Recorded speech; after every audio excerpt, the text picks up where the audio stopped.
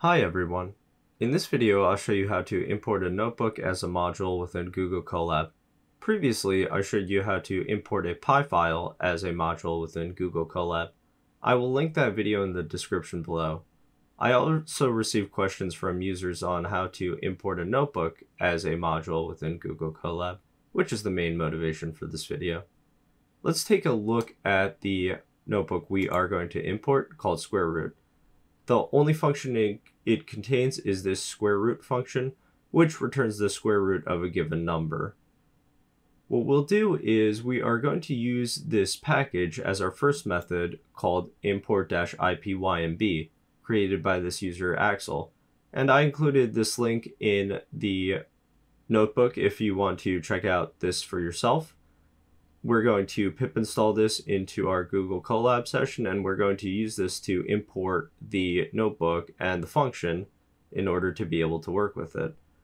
And what this module does is it utilizes a few code blocks from the Jupyter user documentation site, which we'll take a look at our as our second method. But going back, let's import this. I'm going to pip install and then import ipynb. Let's run this.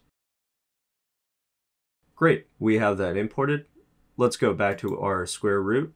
And what I'm going to do is I'm going to file and I am going to save this to my local computer. And now that I have that saved, I am going to go to my folder. I'm going to drag and drop this into the contents folder here and I have our notebook in our contents folder. You can also use Google Drive if you want to import a specific notebook into your session. But let's go back. And all I am going to do is I am going to import square root. We have square root inputted. Now let's actually check if we can call the module and also call the function itself. And let's take the square root of 9 we were able to successfully import the notebook and use the square root function within the notebook. Let's restart the kernel and take a look at method 2. For the second method, this comes straight from the Jupyter Notebook documentation, and this is what the previous package we looked at utilizes these code blocks for. You'll see that we the, the documentation imports a few different packages and utilizes the IPython package we can see that it defines a function here. And there are a few different classes that we need to utilize in order to import it. And this is more if you want to work with the source code.